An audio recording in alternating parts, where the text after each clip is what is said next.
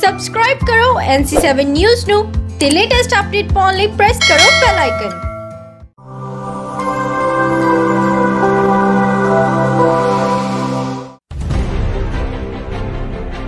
ਇਸ ਵੇਲੇ ਦੀ ਅਹਿਮ ਖਬਰ ਰਾਮਪੁਰਾ ਫੂਲ ਤੋਂ, ਜਿੱਥੇ ਕੇਂਦਰ ਸਰਕਾਰ ਵੱਲੋਂ ਬਣਾਏ ਕਾਲੇ ਕਾਨੂੰਨਾਂ ਨੂੰ ਲੈ ਕੇ ਕਿਸਾਨਾਂ ਦਾ ਸੰਘਰਸ਼ ਲਗਾਤਾਰ ਜਾਰੀ ਹੈ, ਉੱਥੇ ਅੱਜ ਕਿਸਾਨਾਂ ਦਾ ਸਾਥ ਦੇਣ ਦੇ ਲਈ ਦੂਨ ਸਕੂਲ ਕਰਿਆੜਵਾਲਾ ਦੇ ਵਿਦਿਆਰਥੀ ਵੀ ਅੱਗੇ ਆਏ ਨੇ। ਕਾਲੇ ਕਾਨੂੰਨਾਂ ਨੂੰ ਰੱਦ ਕਰਾਉਣ ਲਈ ਸਕੂਲੀ ਵਿਦਿਆਰਥੀਆਂ ਵੱਲੋਂ ਇੱਕ ਵਿਸ਼ੇਸ਼ ਰੈਲੀ ਦਾ ਆਯੋਜਨ ਕੀਤਾ ਗਿਆ, ਜਿਸ ਦੀ ਪ੍ਰਧਾਨਗੀ ਸਕੂਲ ਦੇ ਚੇਅਰਪਰਸਨ ਸ਼੍ਰੀਮਤੀ ਚਰਨਜੀਤ ਕੌਰ ਢਿੱਲੋਂ ਵੱਲੋਂ ਕੀਤੀ ਗਈ। ਰੈਲੀ ਨੂੰ ਨੇਪਰੇ ਚਾੜਨ ਲਈ ਟ੍ਰੈਫਿਕ ਪੁਲਿਸ ਰਾਮਪੁਰਾ ਨੇ ਵਿਸ਼ੇਸ਼ ਸਹਿਯੋਗ ਦਿੱਤਾ, ਜਿਸ ਦੀਆਂ ਲਾਈਵ ਤਸਵੀਰਾਂ ਤੁਹਾਨੂੰ ਵਿਖਾ ਰਹੇ। ਹਾਂ ਪਿਛਲੇ ਕਾਫੀ ਦਿਨਾਂ ਤੋਂ ਕਾਲੇ ਕਾਨੂੰਨਾਂ ਨੂੰ ਲੈ ਕੇ ਜਿਹੜਾ ਕਿਸਾਨ ਜਥੇਬੰਦੀਆਂ ਸੰਘਰਸ਼ ਆ ਉਹ ਲਗਾਤਾਰ ਜਾਰੀ ਆ। 25 ਦਿਨਾਂ ਤੋਂ ਜਿਹੜੇ ਕਿਸਾਨ ਆਗੇ, ਉਹ ਦਿੱਲੀ ਦੇ ਵਿੱਚ ਧਰਨੇ ਤੇ ਬੈਠੇ ਹੋਏ ਆ।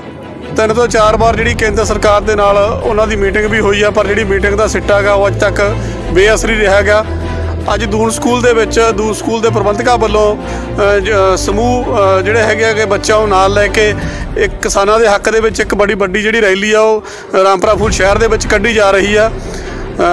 ਕਾਫੀ ਵੱਡੀ ਗਿਣਤੀ ਦੇ ਵਿੱਚ ਜਿਹੜੇ ਵਿਦਿਆਰਥੀ ਆਗੇ ਉਹ ਇਸ ਰੈਲੀ ਦੇ ਵਿੱਚ ਭਾਗ ਲੈਣ ਲਈ ਜਿਹੜੇ ਹੈ, ਹਾਜ਼ਰ ਆਗੇ ਤੁਸੀਂ ਦੇਖ ਸਕਦੇ ਹੋ ਕਿ ਕਿਸ ਤਰ੍ਹਾਂ ਦੇ ਜਿਹੜੇ ਸਲੋਕਨ ਆ, ਉਹਨਾਂ ਦੇ ਹੱਥਾਂ ਦੇ ਵਿੱਚ ਫੜੇ ਪਿਆ ਕਿਸਾਨ ਮਜ਼ਦੂਰ ਏਕਤਾ ਜਿੰਦਾਬਾਦ।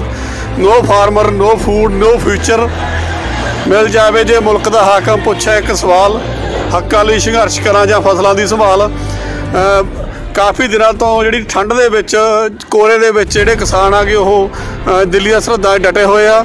ਕਾਲੇ ਕਾਨੂੰਨਾਂ ਨੂੰ ਰੱਦ ਕਰਾਉਣ ਦੇ ਲਈ ਸਾਡੇ ਨਾਲ ਸਕੂਲ ਦੇ ਪ੍ਰਬੰਧਕ ਚੇਅਰਮੈਨ ਮੈਡਮ ਚਰਨਜੀਤ ਕੌਰ ਸਾਡੇ ਨਾਲ ਮੌਜੂਦ ਹੈ ਇਹਨਾਂ ਨਾਲ ਗੱਲ ਕਰਨ ਦੀ ਕੋਸ਼ਿਸ਼ ਕਰਦੇ ਆ। ਮੈਡਮ, ਤੁਹਾਡੇ ਸਕੂਲ ਵੱਲੋਂ ਜਿਹੜੀ ਹੈਗੀ ਹੈ ਜੀ, ਕਿਸਾਨਾਂ ਦੇ ਹੱਕ ਦੇ ਵਿੱਚ ਅੱਜ ਇੱਕ ਰੈਲੀ ਕੀਤੀ ਜਾ ਰਹੀ ਆ। ਸਮੂਹ ਵਿਦਿਆਰਥੀਆਂ ਨੂੰ ਨਾਲ ਲੈ ਕੇ ਤੁਹਾਡਾ ਕੀ ਕਹਿਣਾ ਜੀ? ਅਸੀਂ ਇਹੀ ਕਹਿਣਾ ਚਾਹੁੰਦੇ ਹਾਂ ਕਿ ਜੋ ਇਹ ਕਾਲੇ ਕਾਨੂੰਨ ਬਣਾਏ ਗਏ ਹੈ, ਅਸੀਂ ਸਰਕਾਰ ਕੋਲ ਕੋਲੋਂ ਇਹ ਜਿਹੜੀ ਹੈਗੀ ਹੈ ਉਹਨਾਂ ਕੋਲੇ ਇਹ ਇੱਕ ਸੰਦੇਸ਼ ਪਹੁੰਚਾਉਣਾ ਚਾਹੁੰਦੇ ਹਾਂ ਕਿ ਇਹ ਕਾਨੂੰਨ ਜਿਹੜੇ ਹੈ ਰੱਦ ਕੀਤੇ ਜਾਣ ਔਰ ਕਿਸਾਨਾਂ ਨੂੰ ਇੱਕ ਦਾ ਜਿਹੜੀ ਹੈਗੀ ਹੈ, ਭੁੱਖਮਰੀ ਦੇ ਕਗਾਰ ਤੇ ਨਾ ਭੇਜਿਆ ਜਾਵੇ। ਸੋ ਹਰ ਬੰਦਾ, ਜੋ ਵੀ ਕਾਨੂੰਨ ਬਣਾਉਣ ਵਾਲੇ ਵੀ ਤੇ ਕਾਨੂੰਨ ਦੇ ਰਾਖੇ ਵੀ, ਤਿੰਨ ਸਮੇਂ ਹਰ ਰੋਜ਼ ਖਾਣਾ ਖਾ ਕੇ ਸੌਂਦੇ ਤੇ ਕਿਸਾਨ ਉਹਨਾਂ ਦੇ ਵਜੂਦ 'ਚ ਕਿਉਂ ਨਹੀਂ ਆਉਂਦਾ? ਸੋ ਅਸੀਂ ਇਹ ਰੈਲੀ ਕੱਢ ਰਹੇ ਹਾਂ ਕਿਸਾਨਾਂ ਦੇ ਸਪੋਰਟ ਵਿੱਚ। There is, if there is no farmer, there is no food. So, we all support. ਜੈ ਜਵਾਨ ਜੈ ਕਿਸਾਨ ਦਾ ਨਾਰਾ ਲੈ ਕੇ ਆਏ ਹਾਂ। ਇਹਨਾਂ ਦਾ ਕਹਿਣਾ ਜੀ ਕਿ ਪੂਰੀ ਤਰ੍ਹਾਂ ਜਿਹੜਾ ਹੈਗੇ ਕਿਸਾਨਾਂ ਦੇ ਨਾਲ ਆ। ਜੇਕਰ ਕਿਸਾਨ ਹੀ ਨਹੀਂ ਹੋਊਗਾ ਤਾਂ ਫੂਡ ਕਿੱਥੋਂ ਹੋਊਗਾ ਜਾਂ ਖਾਣ ਪੀਣ ਵਾਲੀਆਂ ਚੀਜ਼ਾਂ ਕਿੱਥੋਂ ਮਿਲਣਗੀਆਂ? ਮੈਡਮ ਪਰਮਿੰਦਰ ਕੌਰ ਜੋ ਸਕੂਲ ਦੇ ਪ੍ਰਿੰਸੀਪਲ ਆ, ਉਹ ਵੀ ਸਾਡੇ ਨਾਲ ਆ।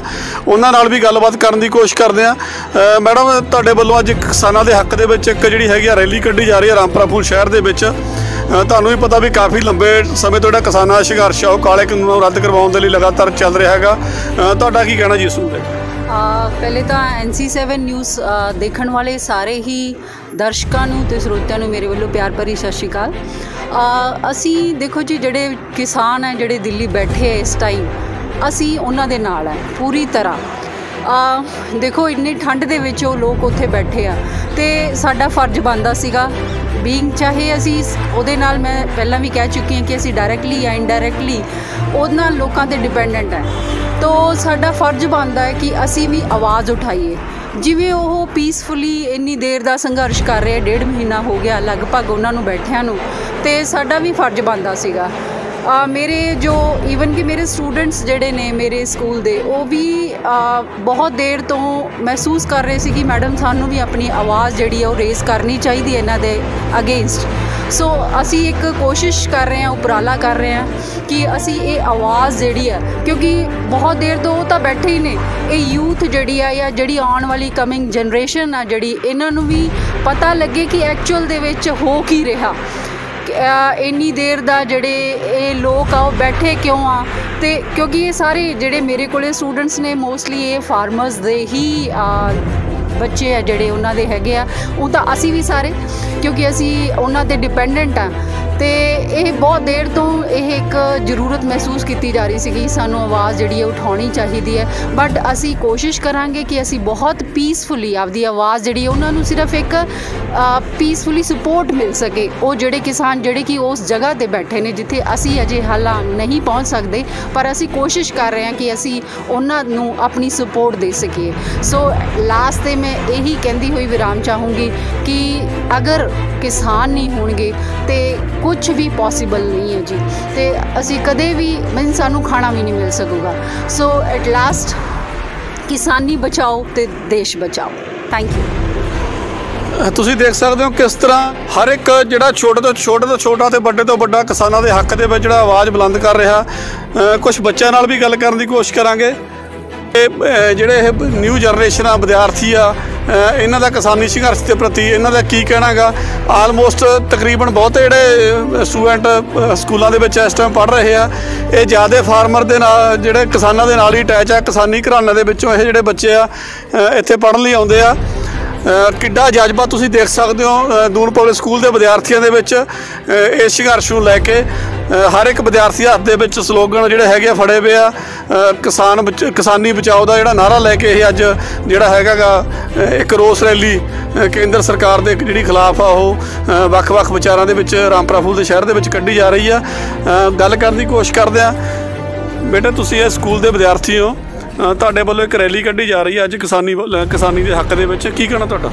ਸਰ, ਅਸੀਂ ਸਾਰੀ ਲਗਭਗ ਕਿਸਾਨੀ ਘਰਾਂ ਤੋਂ ਹੀ ਬਿਲੋਂਗ ਕਰਦੇ ਹਾਂ ਸੋ ਦੈਟਸ ਵਾਈ ਵੀ ਸਾਨੂੰ ਸਰਕਾਰ ਨੂੰ ਚਾਹੀਦਾ ਵੀ ਬਿੱਲ ਵਾਪਸ ਲੈਣ, ਕਿਉਂਕਿ ਇੰਨੇ ਜਾਣੇ ਗਲਤ ਨਹੀਂ ਹੋ ਸਕਦੇ। ਕਾਲੇ ਕਾਨੂੰਨਾਂ ਨੂੰ ਲੈ ਕੇ ਜਿਹੜੇ ਕਿਸਾਨ ਆ ਕਾਫੀ ਦਿਨਾਂ ਤੋਂ ਸੰਘਰਸ਼ ਕਰ ਰਹੇ ਆ ਦਿੱਲੀ ਦੀਆਂ ਸਰਹੱਦਾਂ ਤੇ ਬੈਠੇ ਆ। ਅ, ਤੁਸੀਂ ਕਿਸ ਨਜ਼ਰ ਨਾਲ ਵੇਖਦੇ ਹੋ? ਉਹਨਾਂ ਨੂੰ ਬਹੁਤ ਹੀ ਆਪਾਂ ਦੁੱਖ ਨਜ਼ਰ ਨਾਲ ਦੇਖ ਸਕਦੇ ਹਾਂ ਕਿਉਂਕਿ ਜਿਹੜੇ ਮੋਦੀ ਸਾਹਿਬ ਨੇ ਉਹਨਾਂ ਤੇ ਕੋਈ ਇਫੈਕਟ ਨਹੀਂ ਹੋ ਰਿਹਾ।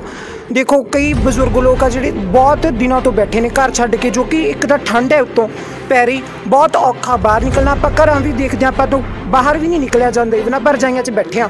ਧੰਨ ਦੇ ਨੇ ਉਹ ਲੋਕ, ਮੈਂ ਉਹਨਾਂ ਨੂੰ ਸਲੂਟ ਕਰੂੰਗਾ ਵੀ ਜਿਹੜੇ ਉਹ ਘਰ ਛੱਡ ਕੇ ਆਪਣੇ ਮਾਰੇ ਬੈਠੇ ਨੇ ਦਿੱਲੀ ਵਿੱਚ। ਬਹੁਤ ਲਾਰਜ ਅਮਾਉਂਟ ਆਫ ਪੀਪਲ ਬੈਠੇ ਨੇ ਕਾਲੇ ਕਾਨੂੰਨਾਂ ਦੇ ਖਿਲਾਫ। ਸੋ ਮੈਂ ਤਾਂ ਉਹਨਾਂ ਨੂੰ ਸਲੂਟ ਹੀ ਕਰੂੰਗਾ ਕਿ ਘਰ ਛੱਡ ਕੇ ਬੈਠਣਾ ਬਹੁਤ ਵੱਡੀ ਗੱਲ ਆ। ਕਿਉਂਕਿ ਮੋਦੀ ਸਾਹਿਬ ਨੂੰ ਵੀ ਚਾਹੀਦਾ ਕਿ ਇਹ ਕਾਨੂੰਨ ਰੱਦ ਕੀਤੇ ਜਾਣ। ਕਿਉਂਕਿ ਜੇ ਮੇਰੇ ਖਿਆਲ 'ਚ ਕਿਸਾਨ ਨਹੀਂ ਹੋਣਗੇ ਤਾਂ ਆਪਾਂ ਖਾਣਾ ਪੀਣਾ ਆਪਣਾ ਸਾਰਾ ਬੰਦ ਹੋ ਜਾਊਗਾ। ਖਾਣਾ ਪੀਣਾ ਬੰਦ ਹੋਇਆ ਤਾਂ ਆਪਾਂ ਸਰਵਾਈਵ ਕਿਵੇਂ ਕਰਾਂਗੇ? ਤਾਂ ਸਾਰੀ ਜਿਹੜੀ ਵੀ ਮਤਲਬ ਪੈਦਾਵਾਰ ਹੁੰਦੀ ਆ, ਸਾਰੀ ਕਿਸਾਨ ਕਿਸਾਨ ਹੀ ਕਰਦਾ, ਹਨਾ? ਤੇ ਜਦੋਂ ਆਪਣੇ ਕੋਲ ਹਮ ਜ਼ਮੀਨਾਂ ਹੀ ਨਹੀਂ ਹੋਣਗੀਆਂ ਕਿਸਾਨ ਨਹੀਂ ਹੋਊਗਾ ਤਾਂ ਆਪਾਂ ਕਿੱਥੋਂ ਖਾਵਾਂਗੇ? ਤਾਂ ਬਹੁਤ ਮਾੜੀ ਹਾਲਤ ਹੈ ਕਿ ਜੇ ਮੈਂ ਮੋਦੀ ਸਾਹਿਬ ਨੂੰ ਇੱਕ ਰਿਕੁਐਸਟ ਕਰਾਂਗਾ ਕਿ ਉਹ ਕਾਲੇ ਨੂੰ- ਕਾਲੇ ਕਾਨੂੰਨ ਜਲਦੀ ਤੋਂ ਜਲਦੀ ਰੱਦ ਕਰ ਦੇਣ। ਥੈਂਕ ਯੂ ਦੇਖੋ, ਹਰ ਇੱਕ ਬੱਚੇ ਦੇ ਵਿੱਚ ਵੀ ਇਸ ਪ੍ਰਤੀ ਦਰਦ ਹੈਗਾ ਕਿ ਕਾਲੇ ਕਾਨੂੰਨ ਜਿਹੜੇ ਹੈਗੇ ਆ, ਉਹ ਰੱਦ ਕੀਤੇ ਜਾਣ। ਹੋਰ ਵੀ ਵਿਦਿਆਰਥੀ ਸਾਡੇ ਨਾਲ ਹੈਗੇ, ਉਹਨਾਂ ਨਾਲ ਵੀ ਗੱਲ ਕਰਨ ਦੀ ਕੋਸ਼ਿਸ਼ ਕਰਦੇ ਆ। ਬੇਟੇ, ਤੁਸੀਂ ਇਸ ਸਕੂਲ ਦੇ ਵਿੱਚ ਸਟੱਡੀ ਕਰ ਰਹੇ ਹੋ। ਅੱਜ ਤੁਹਾਡੇ ਵੱਲੋਂ ਇੱਕ ਰੈਲੀ ਕੱਢੀ ਜਾ ਰਹੀ ਹੈ ਕਾਲੇ ਕਾਨੂੰਨਾਂ ਦੇ ਖਿਲਾਫ, ਸੈਂਟਰ ਸਰਕਾਰ ਦੇ ਖਿਲਾਫ। ਤੁਸੀਂ ਕਿਸ ਨਜ਼ਰ ਨਾਲ ਦੇਖਦੇ ਹੋ?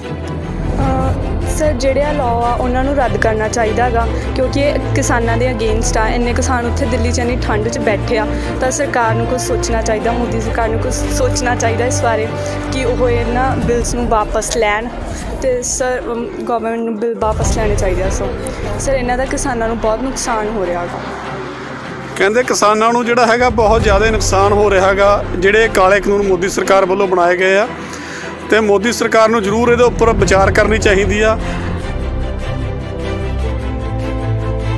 ਰਾਮਪੁਰਾ ਫੂਲ ਤੋਂ ਜਸਵੀਰ ਔਲਖ ਦੀ report NC7 news.